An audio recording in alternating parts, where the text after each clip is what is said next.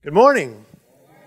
Welcome. If you're new here among us, my name is Gene. I serve here at C3 Church as your pastor. Let's start with the story. That's what we do. So I heard a story about another church, kind of like our church, where you begin asking the why questions.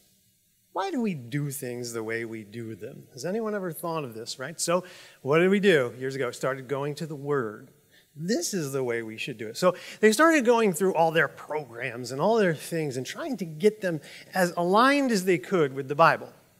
And so finally they get to missions. And they looked at what we're going to be seeing today. And they said, we really don't do missions like that. You know, we just kind of put a clipboard out. Nobody really prays about it. We go to some place, and sometimes we've been there over and over again sometimes doing the same projects again, seeing the same people, is this mission. So they decided, you know what, let's just do what they did in the Bible. And we're going to fast and pray. And we're going to ask a question. So we're all going to fast and pray. We're going to go do our own thing for a while, and we're going to see what we hear from the Lord. They fast, they pray, they ask, where? Where do you want us to go, Lord? They all come back together and they all come up with the same answer the Middle East. So now they're going to go away and pray and ask another question Who? And that's where, you know, if they're being honest with you, they're praying, not me, not me, not me, not me, right? So we don't want to go on that mission trip, right? So they're praying, they're praying, and nobody hears anything except wait. Okay, we'll wait. A couple weeks later, new guy comes into church. After the service, where are you from? Well, He's like, Well, actually, I'm from out of state, but I'm originally from the Middle East. I felt called to missions, but the Lord sent me here to this church. We know why. Prayer answered. So they train him up and they send him, but they have a different strategy. He's not going to start a church. Dangerous over there. He's going to do something a little bit different. He's going to get a job, right? So it's not a big expense for the going to get a job, but somewhere where he has a lot of exposure to people. He can talk about Jesus. So he decides, I'm going to get a job as a server in a restaurant. Perfect, right? I can talk to a lot of people and just serve. I'm going to be the best server ever and then talk about Jesus. And it works. About a year later, this guy could run for mayor and win. It's amazing. He knows everybody, but the government doesn't like it. And he's spreading Jesus. That's not popular there. So they really want to kill him, but they can't. He's really popular. And so, no, no, no, we're going to start a riot. Like, they're worried about in the Bible. What do we do? So the government officials have a meeting, and one of them says, You know what? Let's hire him. Huh? Yeah, let's hire the guy. And then what we could do is give him an office job in the basement somewhere. we'll just hide him away. Like, if you're familiar, well, George Costanza him, right? So you put him in that office, one person got, okay, good. So, anyway, funny show. But that's where I get a lot of my, what is the deal with missions? Anyway, so, so couldn't help it. Anyway, so I put him away. So, like, you know what? This is, this is, oh, yes, and now you're not going to ever see me the same way again. but this is a really good idea. So go to the restaurant, send one of the guys in, offer him, like they find out he's making about 25000 a year, offer him 50000 a year. The guy they send's like, I don't even get paid that much, but okay. So he goes, they have a conversation. He says, Hey, you know what? I can get you, you don't have to wait tables all day and run around. I can get you a nice desk job in the air conditioning for 50000 What do you think about that? And this missionary waiter says, No, refuses it. Okay. So he goes back. And now they're kind of angry, really, but his supervisor says, you know what? Offer him $100,000. He can't refuse that. It's crazy. Four times as much. The guy's like, oh, I wish you'd give me a hundred. Anyway, so he goes to the restaurant and he tells the waiter, look, my boss said $100,000. No, I don't want it. Now he's mad. He's like, listen, are you crazy? I don't even make that much money. He's insulted. He's like, you're just nuts. What's wrong with you? Is it not enough money? Is the pay not big enough for you? And he says, Oh, it's not the pay It's not big enough. It's the job that's not big enough. So today we're going to talk about, and there's no joke. That was it. The Seinfeld thing was the joke. It's not always funny. so anyway, I don't need a joke today. I don't think it's going to be that hard, right? I don't have to break the ice too much. So today we're going to be looking at the big job of missions and really thinking about it. And we're going to grab it from the text. We're going to start in the text. That's what we do here at C3 Church. If you're new, everything comes from this. Uh, so, you know, we do have kind of like a verse of the day problem in Christianity, right? So people just read that verse and then randomly another verse somewhere else and randomly another verse somewhere else, and that's why they don't understand the Bible at all, right? Because they're just hopping around from one sentence to another. You want to read larger portions of the text and then zoom in when you get the point, when you know what it's about. So today, we're going to be doing Acts 12 through 14, but not all of it. We're just not going to have the time. So I will paraphrase some stuff for you and point some things out, like your tour guide on the way. I'll stop the bus, point something out for you, and we're going to keep moving. But this is not to kind of you know, dismiss the text. I encourage everyone here, read. Go read it for yourself. Don't believe me or anyone else. Just believe that. All right, so I'll overview it best as I can for you, and then we'll kind of get to missions here, and we'll take a look at that. So we ended at Acts 11, we saw the church at Antioch. They're getting a collection together for Jerusalem where there's going to be a famine. This is where they're first called Christians for the first time. And so, what you have in Acts, Luke is just, well, of course, Holy Spirit driven, right? But a brilliant writer, you know, man working with God, like that M.C. Escher hand in hand thing. So, Luke is going to insert some of himself in here, and he's just a great writer. Smart guy, a doctor, uses big words, really, really hard to read in Greek. Um, but he does these cut scenes. So he's going to be here and then cutaway scene to here. So now we're going to cut to uh, Herod Agrippa, and we're going to see that the church gets persecuted. So we're going to go back and forth to Antioch, and then Herod, the stuff about Herod's in between. So you're going to see James is killed. This is James of James and John. He's killed by the sword. Now it's really funny. We're going to get to James. We're going to insert James in this series. Uh, when you begin reading Greek, one of the things that you notice when you get better at it is that it doesn't say James. It says Jacob. That's his name. So you have my permission. You can cross out James and write Jacob. so anytime that, that name appears in the New Testament, it's Jacob in Greek. So he's killed. Things to note on the tour this morning there's no violence. Remember? Martyr. Right? The, the, origin for that word is witness in Greek. If you're reading it in Greek, you'll notice it looks a lot like martyr. Yes, because that's where the word comes from. Again, a nonviolent movement here. Uh, Peter, he's put in prison. Right, so King Herod thinks, ah, that made people happy with Jesus. I'm going to kill him after the Passover festival. So he has these guards, like 16 guards, guarding him. And what's happening is, again, you got to notice this. What did they do? They take him, he's going to get killed. He's thinking he's going to die, right? They started an army. they got their two swords, remember? then they started an army and to break him out. No, it specifically says they prayed. They're praying. And it works. so an angel busts him out of prison by prayer. It's amazing. So bright light and everything. He's like, Peter, get your clothes, let's go. Hits him on the side, and he leads him out. the chains just fall off him. There's two guards, one on either side of him. Chains fall off him. He passes by the first guard tower, second guard tower, to the city gate. It opens for him. He thinks it's like a dream or something. He has no idea, and he realizes, ah, the Lord just broke me out of jail. So he goes to John Mark's house and his mother, many, many, many Marys. Remember we did that? Many Marys. Goes to John Mark's house, and we have a scene that's kind of like Jesus' resurrection scene when you think about it. And so John Mark, author of the Gospel of Mark, Rhoda goes to answer the door, hears Peter's voice. His mom's name is Mary. hears Peter's voice, gets so excited that she like leaves him out there and goes to tell everybody. Peter's kind of like, just broke out of jail, people, like, let me in. Right? So she's telling him, and it's a scene, right? Like, like the resurrection.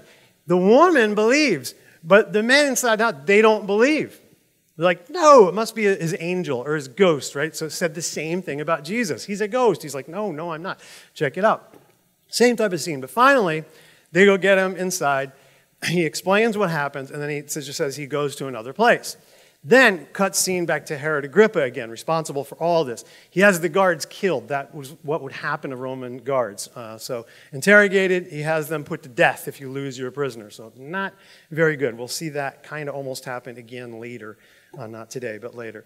So, he caps off what happens to Herod. Basically, he's, he's angry with people, Tyre Sidon, I believe. He's angry with those people. They send a delegation and try to make peace. And then they talk to this guy, Blastus, who's his assistant, King Herod. And they make the peace. And he gives a speech. And they're like, oh, it's like the voice of a God. They begin to kind of worship him.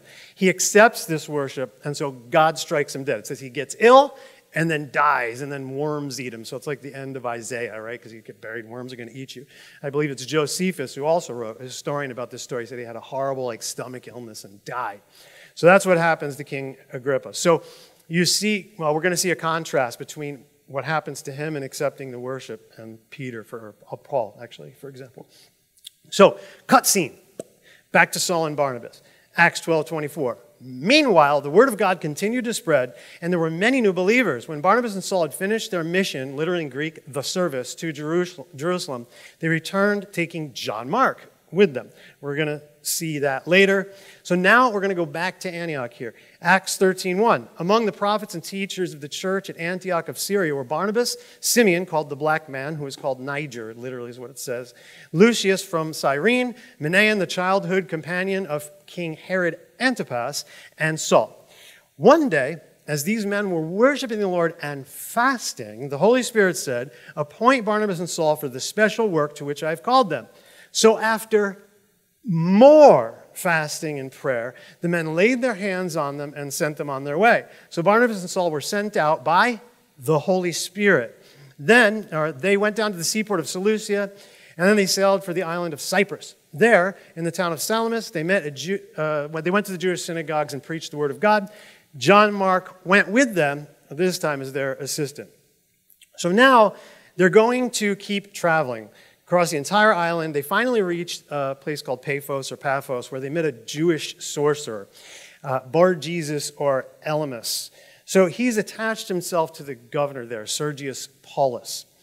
And what happens is he's convincing Elymas is like, if you're Greek, it's like uh, elixir. So you can pick like a sorcerer, basically. It says it means uh, sorcerer, but you can attach it to that. So anyway, he's convincing the governor, don't listen to these guys. He's a false prophet. And so Paul, filled with the Holy Spirit, and here's where it says Saul, also known as Paul. So this is where you get that now. It's like the big reveal, as if you didn't know before. Maybe you didn't. You're like, oh, this is Paul. This is amazing. He's filled with the Holy Spirit. He calls him a son of the devil which is really funny because Bar Jesus means son of Jesus. So there's like this contrast of probably why Paul is saying that.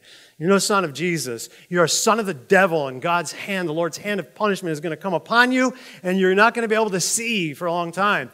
And so this is what happened to Paul. So Paul basically inflicts what happened to him on this guy by the power of the Lord, and he's blinded, he's groping around.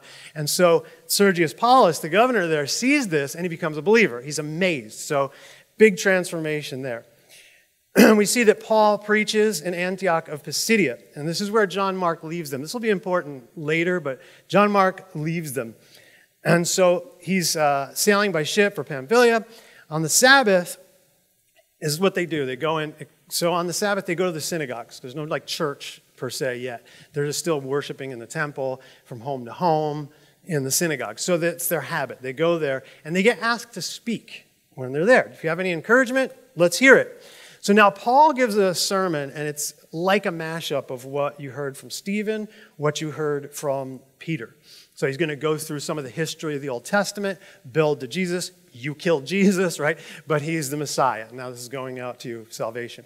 So as Paul and Barnabas left the synagogue that day, the people begged them to speak about these things again the next week. Many Jews and devout converts to Judaism followed Paul and Barnabas, and the two men urged them to continue to rely on the grace of God. So the following week, it doesn't go as well because they start getting jealous. They get haters, right? So they get jealous because they're attracting all these crowds.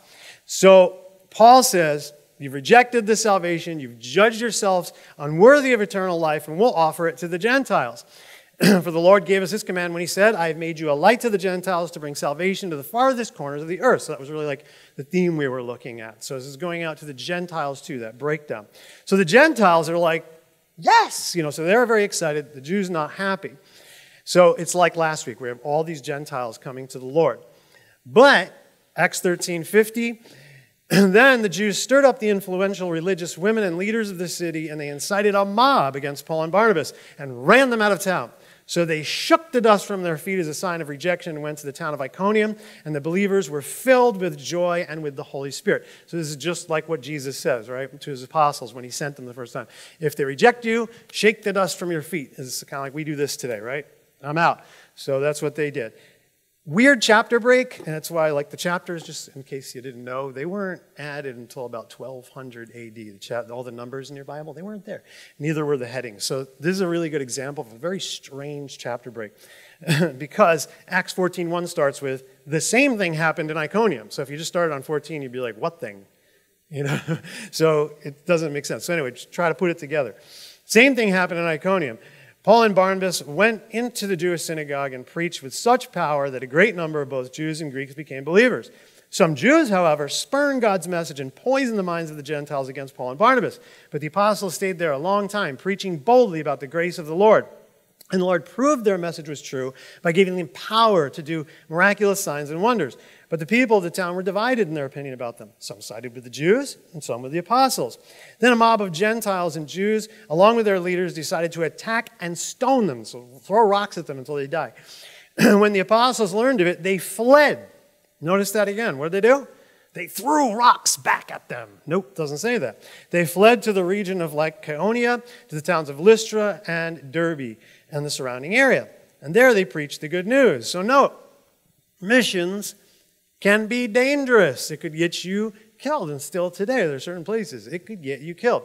So, note though, right? So we don't go do missions to the Middle East. What do we bring with us? An AK 47, right? So we don't, you're not going to get on the plane with that. But, but we don't do that today. It's understood that that's not how we're supposed to spread the gospel, yet some would say otherwise. So while they're in Lystra, there's a man it's kind of an interesting thing. It's kind of hard to understand if you don't know any Greek mythology, but I'll just kind of explain it the best I know how. So while they're there, there's a man who's never walked. He's got crippled feet. And so Paul, seeing that he has faith to be healed, says, Stand up. And the guy, boom, pops right up and he's jumping for joy. He's happy. He's walking. And so what the people there decide is that they're gods. They're Greek gods come in human form. And so they decide that Barnabas was Zeus and Paul was, uh, like, because he's a good speaker, Hermes, like he's his chief speaker. And so the thing is, though, they have this temple to Zeus right outside the town. And so they think, wow, this much must be the gods, because they have these fake gods and they actually do something. And it'd probably be rare that people would actually do something in a false religion. So this happens and they're totally amazed. So what they do, you know, to them, they think it's good. They get a bull and like with wreaths all around it and stuff. They get all this stuff to worship them with. They're going to worship. And so you got to think, like, uh, imagine spending a lot of money on something and someone rejecting that gift. So this is kind of what Paul does, Paul and Barnabas do, right? So they tear their clothes. That's what you do in the ancient world. If you're upset, especially Jewish people, they tear their clothes, sometimes throw dust on their head, doesn't say that here, but tear their clothes with grief. And they're like, no. And, and Paul's very, very short statement sounds a lot like Romans chapter 1, if you're really familiar with the Bible, right? Essentially, the idea here is you're worshiping the creation, not the creator, guys. You're getting it wrong. This is bad. So they reject their gift, they put down their gift. And so now, some Jews arrive, right, and that want to kill him, and they're like, ha ha, they take advantage of it. And so it goes really, really bad. So crowds, they're trying to, they stone Paul. And crowds come, they stone Paul, they drag him out of town, they think he's dead. So something really interesting happened. The believers gather around him, and he gets up and goes back into the town. You serious? If someone like just stone me to death. right? I'm not going back there, but he does. What a faithful servant. So now, Paul and Barnabas are going to return. So it's the story of their return. Acts 14 21. After preaching the good news in Derbe and making many disciples, Paul and Barnabas returned to Lystra, Iconium, and Antioch of Pisidia. So there's two Antiochs, right? One of Syria, one of Pisidia. Sorry, I didn't mention that before. Where they strengthened the believers. They encouraged them to continue in the faith, reminding them that we must suffer many hardships to enter the kingdom of God. I haven't heard that come up as the verse of the day on my app. Paul and Barnabas also appointed elders in every church with prayer and fasting. Notice that comes up a lot. They turned the elders over to the care of the Lord in whom they had put their trust. Then they traveled back through Pisidia to Pamphylia. They preached the word in Perga, then went down to Attalia. Finally, they returned by ship to Antioch of Syria, where their journey had begun. The believers there had entrusted them to the grace of God to do the work they had now completed. Upon arriving in Antioch, they called the church together and reporting everything God had done through them and how he had opened the door of faith to the Gentiles too. And they stayed there with the believers for a long time. So, we see Paul's first mission trip, his first missional journey. We see some of the themes that we saw last week returning, uh, reaching the Gentiles, suffering for Jesus. We also see the operation of the church. So, this is where we get a really good glimpse of that. How does the church operate? How do they appoint their missionaries? How do they appoint their leaders? Note, if you read that longer section, right? If we just did one chapter, you might not have caught that but you caught it. Prayer and fasting in both cases. It's like the same formula that they keep using to appoint these you know, leaders, these elders in that case, or these missionaries. So, what I want to do today is let's look more closely at what missions looks like biblically, like, and then how we fit it into our culture, how we can get it there. Now, I am going to talk about, as a disclaimer, so if you stop the message right in the middle, you don't watch if you're watching online, you might think by some of the things I'm saying, or if you're not attentive, you might think, is he saying we shouldn't do missions? Absolutely not. This is not whether we should do missions or not. We clearly should. It's how we do missions. So hear that how we do missions. I'm not saying no, right? So I'm not the Grinch of missions, just so you get that. And yes, that time of year is coming up again. Really? That's crazy. Or did the stores just shove it down our throat? Anyway, not going to digress too much. So let's look at some verses that people typically use uh, for missions. So this is a big one. If you've been a Christian your whole life, you've heard a missionary use this. So remember, Jesus has risen from the dead. He's about to ascend into heaven. It's the end of the Gospel of Matthew. Matthew 28 16. Then the 11 disciples left for Galilee. As I'm reading this, I want you to pay attention. Think in your head, like remember reading comprehension in school who, what, when, where, why, right? The 11 disciples left for Galilee, going to the mountain where Jesus had told them to go. When they saw him, they worshiped him, but some doubted. Jesus came and told his disciples, I have been given all authority in heaven and on earth. Therefore, go and make disciples of all nations, and I've explained this to you. Ethne, think ethnicities. Go to all the different peoples everywhere, baptizing them in the name of the Father and the Son and the Holy Spirit. Teach these new disciples to obey all the commands I have given you, and be sure of this I am with you always, even to the end of the age. Now, who? 11, Judas is dead. 11 disciples. All right? apostles. So let me explain something to you. And this is really, really funny because, you know, exegesis and hermeneutics and you learn all this stuff. Who, what, when, where, why. Make it simple. If you did that to this text the same way you do it to any other text, you'd come away with something like, well, Jesus was giving specifically his 11 leftover apostles instructions, right? To go and make more disciples of all different peoples. And if you know Greek, it, it, looks more like in Greek, you know, just different nationalities, different ethnicities. All right, maybe nations, that's fine. Whatever, right? So this this is to his right. But everybody? I don't think so. You wouldn't get that takeaway if you're reading it correctly. And if you kept reading all the way to Acts, you'd get this, Acts 1 1. Luke is writing. In my first book, I told you, Theophilus, about everything Jesus began to do and teach until the day he was taken up to heaven, after giving who? His chosen apostles further instructions through the Holy Spirit. So, explain something to you.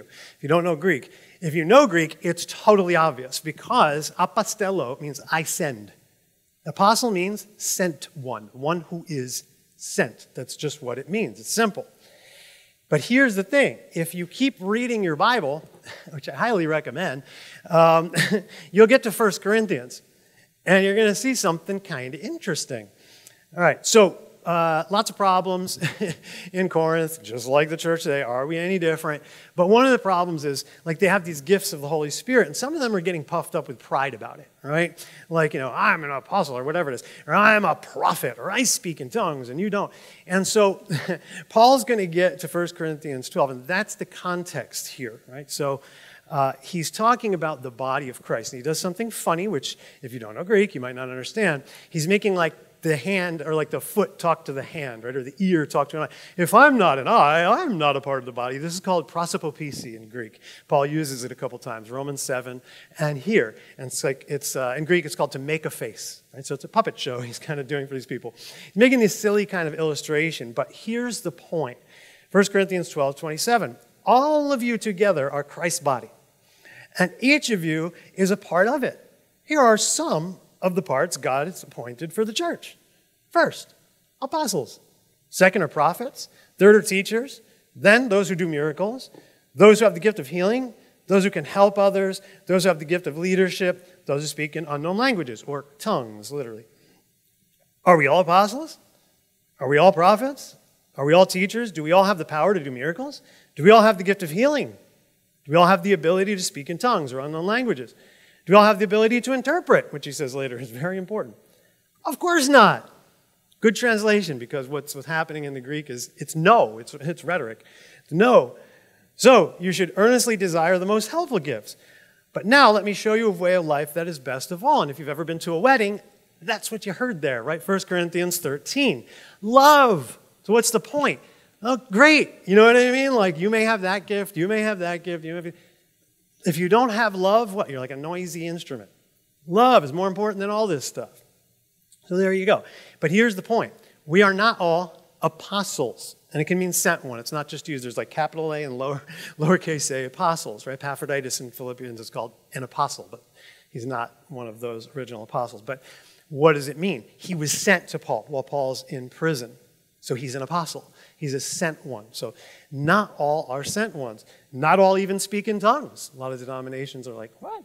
But not all speak in tongues. But here's the thing we all have the base obligation to witness to Jesus, but we're not all apostles, or there's no word for missionary in the Bible. It's not there. It's apostle. That's what it is. You're an apostle if you're a missionary. The church does what? Fast, prays, lays hands on you, and sends you. Not everybody are. Did you see what happened in the church? right? That all those people in there, who were chosen? Two. That's it. Holy Spirit says go. So that's the thing. So not everybody's what we would think of as a missionary. So here's the next thing. That's the first thing. We're not all called to missions. It's not our job. Just not everyone's called to teach. Clearly, not everyone's called to sing. So, okay, good. But uh, hey, I was good. Not you. You're good. You, I, maybe by yourself in the car, in the shower, someplace like that. Here, that's why we turn it up real loud. Anyway, I had to, we have a thing. It's okay, we joke. Um, all right, so the next thing about missions is this. So now that we understand that, from what? Not Pastor Gene's opinion, from the Word of God. That's who said it, not me, right? So now that we understand that, we have to make a distinction. Here's another problem that the church has. We have to make the distinction between missions and visiting somebody. You see how they went back through and they visited people? Missions and visit. Not every like visit to a foreign country is a mission, especially if you've been there 15,000 times, you know, or they know Jesus. It's not a mission.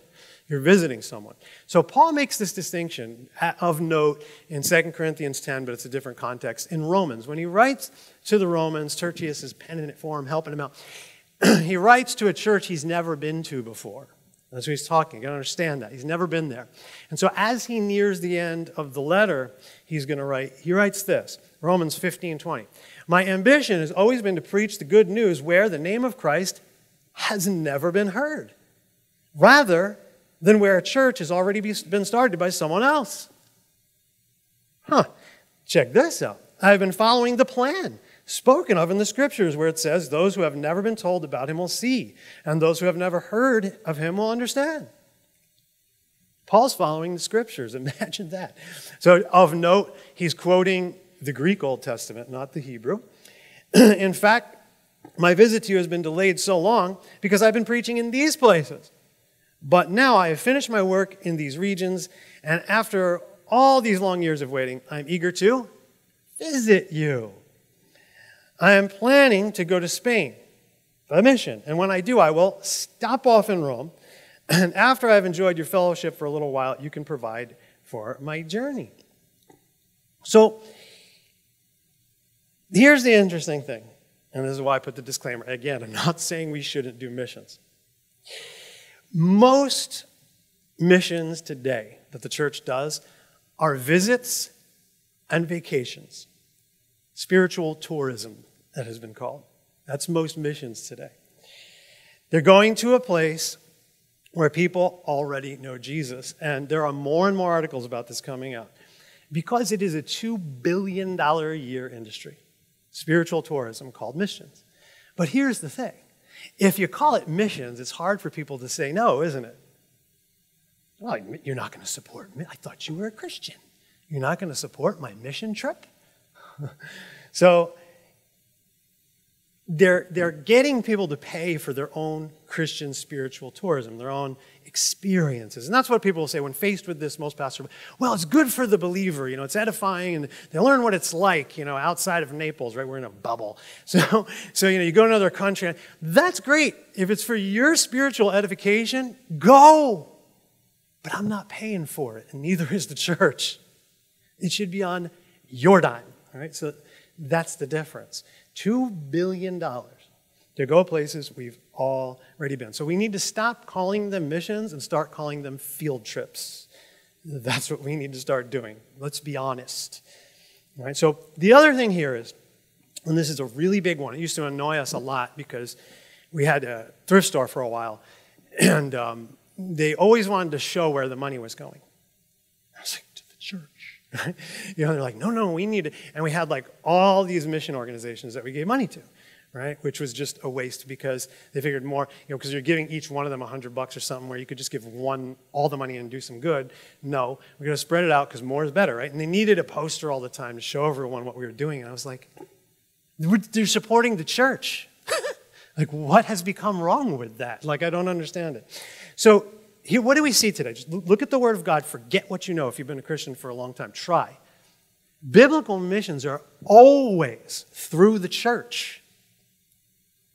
They're always done through the church. First and foremost, the church is a mission organization which spreads the gospel locally and online out to other people and sends or supports missionaries who are trained, appointed, and anointed to do that work. And how do we do it?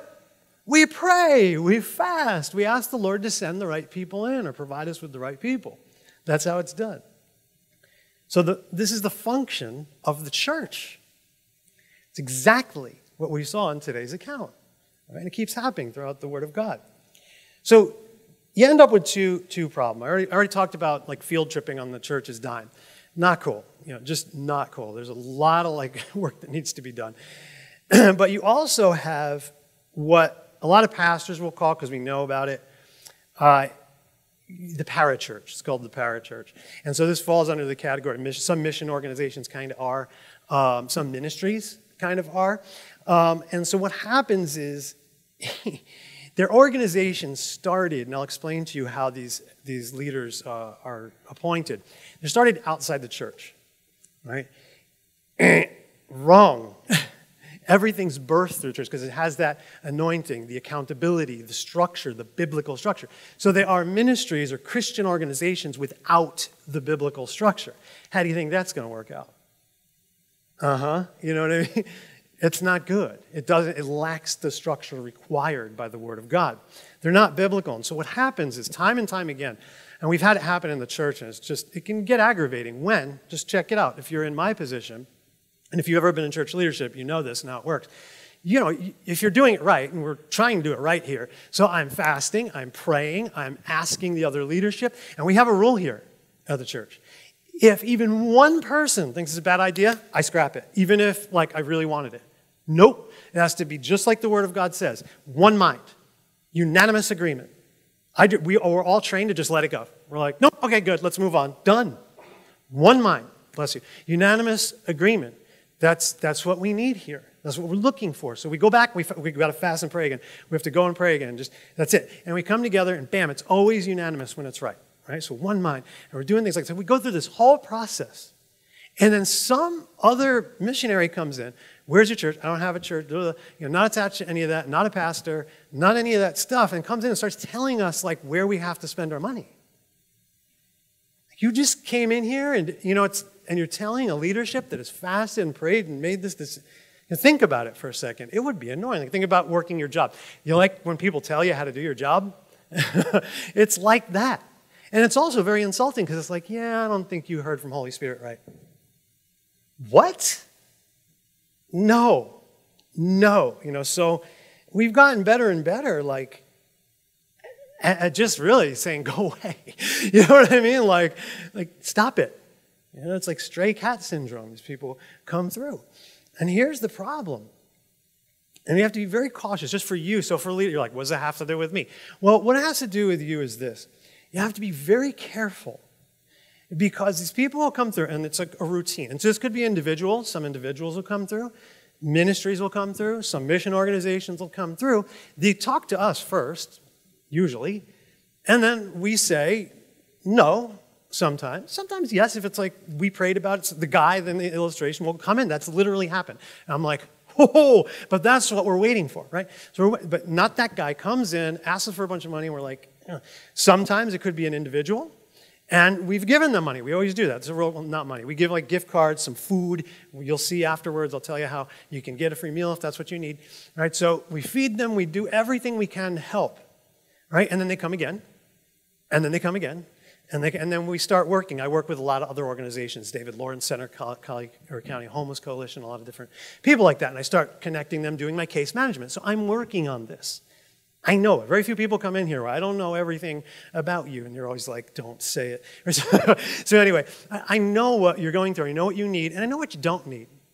And sometimes, like, I've given you piles of fish, and now you need to go fish, right? We've been through it. But then, when I say no, they go ask someone else in the church for money. Wrong. And so, if you do that, you could be enabling someone. Right? So you be very careful. If anyone in the church, just if you, are deciding to come here, or if you come here for a long time, no one should ask you for money. No one. Tell them to see Gene. See, go see Gene. Ask Gene. And if they're like, no, it's because they already did. And I said, no, right? no, one, no one should ask you for money, especially if they're a ministry or a mission organization. No individual. Ask them for their solicitation permit. That's what Heather does. She's really good at that. People don't like her. You're supposed to have one of those. Anyway, they do the tech. I don't even deal with money. I have no idea. I'm like, I don't know. Go see the board. Go see Ed. See Heather. Right? So that's the thing. And here's a note. Like when have I ever? I feel like Samuel now, if you know it, right? When have I ever asked any of you for money? Right? you know, for me, right? Like, doesn't the church take care of that? It's called double dipping. Right? You're not supposed to do that. Here's the thing Missions are supposed to be done in ministries by appointed people. That's what we see in these accounts. Right? So, what did it say? Paul and Barnabas also appointed elders in every church with prayer and fasting. They turned the elders over to the care of the Lord in whom they had put their trust the right way. I want to take you to Titus because this is really what Titus is about. Three chapter book. Paul is writing to Titus, who he's appointed, anointed, left him in Crete to appoint more elders or overseers. It can be interchangeable sometimes. Sends them to that island to do it. I just want you to pay attention to something when we're thinking about people who've gone outside the church realm and say, eh, I don't want any of that.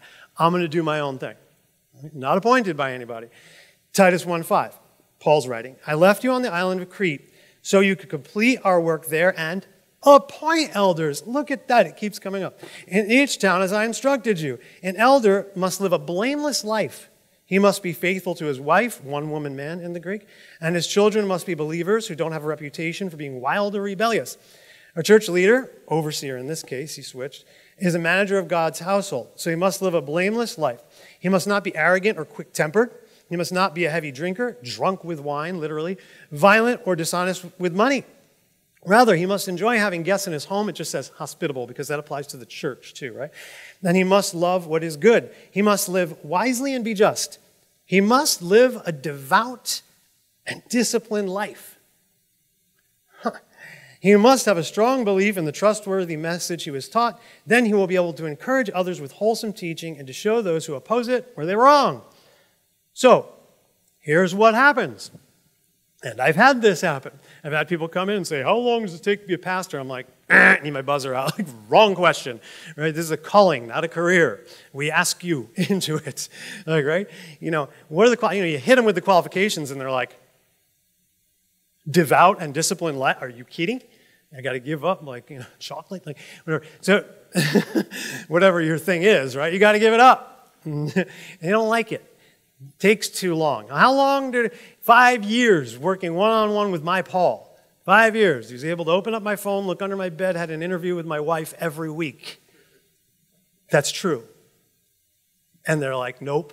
It's much easier to go and start a 501c3 nonprofit organization. takes about a year, and then just do whatever you want go around saying, Lord told you, Lord told you, and ask everybody for money. And that's exactly what happens. Now, I'm not saying they're all bad. Again, what was my disclaimer in the beginning, right? It's okay, but it should always be attached to a church with that accountability over it and the proper process. If it does not have that, it's not biblical. It's not by the word of God. Those who are qualified, did you notice it sounds a lot like the fruit of the Spirit? Because it is. We should be filled with the fruit of the Spirit. Teaching being qualification, 1 Timothy 3. It's also there. Must be able to teach, articulate the gospel where you are. These leaders fast, pray, wait for confirmation. They do it the right way because biblical missions and ministries are guided by the Holy Spirit. Right?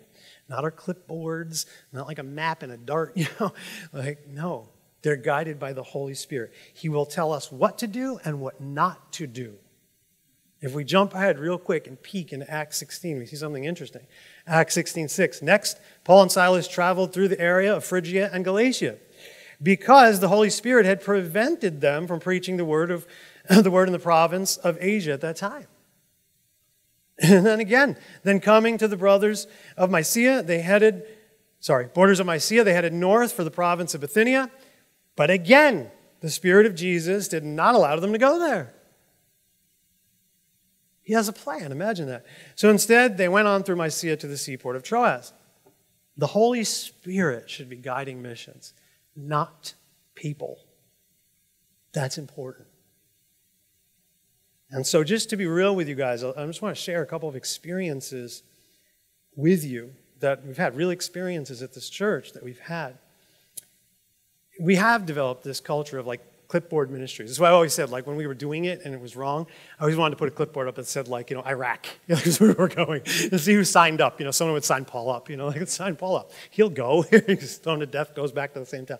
So, you know, you know, but it, it's just, it, I've seen it as a great way to turn a hobby into a nonprofit.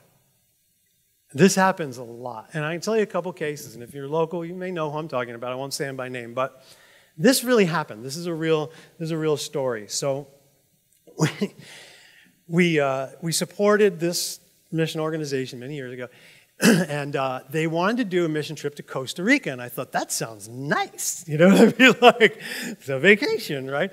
So you know, but I didn't get it yet, you know. Whatever. I was just, uh, I think I was not that it's a bad thing. I wasn't a pastor yet or trained properly. I was on the worship team, I think, at the time, and. Um, uh, So fine, you're going to go to Costa Rica. And there was this like urgent need there. There something having to do with baby formulas and things they were running out of or whatever. So the church spent lots of money. We put together tons of money, hundreds, if not thousands of dollars, all kinds of money on these vital supplies to send them with. Right? They went on the mission trip and they forgot the supplies. You know what they remembered? Their surfboards. And that is a true story. Huh. Really. Then, like a couple years later, and this, I became a pastor a few years later. Uh, they announced at this big thing, and if I had known or really thought about this, I wasn't uh, the lead pastor at the time. I wouldn't have even let it happen. They, they got up and said that they were going to do a mission trip to Rio, Brazil. Okay, if you don't know me, uh, I spent a large portion of my life with Brazilians, them living with, literally living with me. I had to become a Brazilian and integrate into that culture to gain their trust because of Brazilian Jiu Jitsu, right? Uh, because I was a gringo. so it was difficult. When you look like me, they don't like you. So, in their culture at that time, I guess. So, anyway, look, I've met a lot of Brazilians. I'm still very close, uh, really great friends with a lot of Brazilian people. They're all Christians. They're all Christians. Rio De Janeiro. The Jesus statue, right? You know what I mean? That's where you're going to go. Like, I, I almost laughed and then I kind of got a little angry. I was like, I want to go. like, this is nuts. They didn't say, we're going to the Amazon. And even then, I know, I know pastors there. They would say, stop. we go to the Amazon. Let us do that. Just send us the money, please, that you're going to spend on things. But what do they want to do? They, the surf is very good there. That's why Rio. You think the Holy Spirit told him to go to Rio? I don't think so. You know what I mean? It's just, and when you look at these things, and so it's so ingrained in our Christian culture, right? That, like, how dare you, Pastor Gene, right? We talked about that. If I was here to please people, I wouldn't be a servant of Christ. So, anyway, no codependency here. But people don't like it, right? Because it's just a part of the culture, it's just what we do. What are you saying? You don't support missions?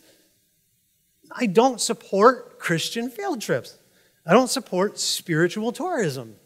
You do that. And my wife and I, we've had this joke for years because we saw how ridiculous, we, we come from the business world initially, right? So, you know, we see things like for what they are and we just call it out. We're like, that doesn't look that stupid, like, you know, whatever, right? So we made a joke. Like, we've just been going to Disney for years and drop the politics or whatever. It's not about that. Like said, we've just been going there for years. This is what we do. It's just, we've been doing it since we were dating. And so we were like, you know what? There are people literally from all over the world here right now it's kind of like Jerusalem in Acts. Right? Everybody, this is shooting fish in a barrel, right? So, you know, what if we get Jesus t shirts and then we promise to talk about Jesus in the parks and everywhere we go? Would the church pay for our mission trip? we didn't. But if I ask you to do that, you're going to laugh. But why aren't you laughing at the people who are trying to get you to pay for their surfing trips or bicycle riding trips or whatever it is. Why aren't you laughing at that? It is as ridiculous as it looks. It's ridiculous. They're visits, and there's nothing wrong with that. If you want to go visit your friends, and, oh, I don't surf, but you know what I mean? Like, that's fine. But I'm not going to ask you to, like, I really miss my friends in Brazil, but I'm going to preach there. Can you guys pay for that? No, don't. I'm not going to ask. It's ridiculous. You already know Jesus there. That's not a mission. Stop it. It's a visit. And again, there's nothing, hear me, there's nothing wrong with visiting. There's no, it's great. But don't ask the church to pay for it. It's not what that's for, right? So again, it's a great way to get people to pay for your hobby. And if any of you do this today, you will get rebuked from the stage. how do you start a five? Oh that's the question. Like out of all this stuff I tell, somebody's going to come up to me and they're going to say, "How do you start a 501c3?" right? So that's what. You, no, right? But to a lot of people, it's a great way to get the church to pay for their hobbies. That's what it is. And it's really hard to say no to missions, isn't it? You look like the bad guy. That's called manipulation. That's what that's called. Now, you may be sitting there saying, I don't care. right? Like, who cares? Well, guard yourself. But here's the thing we may not all be missionaries, but we're all on mission to love our neighbor, to spread the gospel in that way to the people just around us by loving people. But here's the thing if we look at the process for missions, and here's your personal application before we close, we can apply these things for our everyday lives. So it's not just the church, the church is like a picture of what your life should look like as you're living it. So you can apply these principles to your life. So, what do they do? Now, this is really interesting. And you guys are not going to like this, but it's okay. Fasting. Think about it. Think about all the junk we put in our bodies. And if you ever have, if you ever done like a fast, or you just even start to, and I'm not going to give like a health speech or anything. That's not what this is about. It's just being real, right? So if you start eating clean, right? You stop like drinking stuff with tons of sugar and drugs. It's drugs. Caffeine's a drug, you know. It's like cocaine, you know. You stop doing coke, you know, you stop doing that. You stop putting all the poison in your body, you'll notice something. Clarity. Clarity. You sleep better, you wake up better, you think faster. There's no caffeine in me right now. This is the Holy Spirit, by the way. That's all. when I get done, I'm like, right? So he's using me. Tiring. But anyway, Right, so there's that. But I'm just let's talk about the practical, right? So you, the Holy Spirit can be working in you, but if you poison yourself, He's not obligated to unpoison you. Stop, you know. So, clarity, clarity help you make these decisions, think clearly, understand the word. You won't be so foggy. Right? So I quit some of this stuff a long time ago. Caffeine makes me feel I'm gonna, like I'm going to have a heart attack now. Like I can't even have any of it. Like certain sugars, like I'll shake. You know, you don't realize what it's doing to you. And I don't know if anyone here has been a smoker, is a smoker. Like I was a smoker for many, many years. And like, you know, your first cigarette, I was really, really young, way too young. Like eight. I was really young. But anyway, but first thing I felt I was going to die. Like I'm dying. Like my oxygen's gone. What's happening? Right? like dying. But then I don't know why. Oh, drugs, nicotine, you do it again, right? And do it again until you can tolerate it. It's not that the cigarette's doing any less damage, it's just that you're used to killing yourself now. That's what's happening. Same thing with all the poison we put in our bodies. So again, I'm not getting on like a health kick here, but listen, this is a temple of God. You are obligated to take care of it. Right? So that's the thing. The other thing too, prayer. See, you are what you eat. That's it. Well, you also become what you digest with your eyes and your ears. And now I'm not going to get legalistic about secular movies. I watch them. Secular music, it's fine. Once you get strong enough in the Lord, you can just be like, whatever, right? You know, so, that's not what I'm talking about. But, but the amount, the quantity of poison that people are putting in their eyes and their ears, it infects your mind. So just be careful about, you know, if, if you're strong in the Lord, start thinking about the quantity of this garbage that you're digesting into your brain. You know, limit it, cut it out, turn it off, pray Read the Word of God. Listen to Him. You can't hear Him when all this noise is all around. You can't. You need to pray, right? So it's about just stop. I want to think clearly, hear you clearly, Lord. Like, just develop that relationship. Then we can let the Holy Spirit guide our lives. That's what we're supposed to be doing. We're supposed to be led by, and sometimes we don't even know why. I do all the time. I'm like, I don't know, I just feel like I got to go there. And then all of a sudden, something crazy happens when I go there. I'm like, huh, that's really weird. I call them God incidences now. It's, there's no coincidence. It's unbelievable. But the more I'm listening to them, the more of them I get. It's insane. But only by listening. And then when I'm not, I can tell because they don't happen. So it's important. We come up with a lot of ideas on our own, but they're not always good ones. The other thing, just for some encouragement today, expect resistance tried to stone Paul. Express, the gospel's offensive. And it's not our job. We shouldn't be like, we should be leading with love, but people don't like it. Also, here's what people don't like self improvement. When someone doesn't want to improve, they do not. This is like me as a dad talking to our older brother. This is practical advice. When someone does not want to improve themselves and you do, you talk you talk to them. Even if you don't say a word, you say, ah, either you point, you begin pointing out their faults without even thinking it's not your fault, but you do.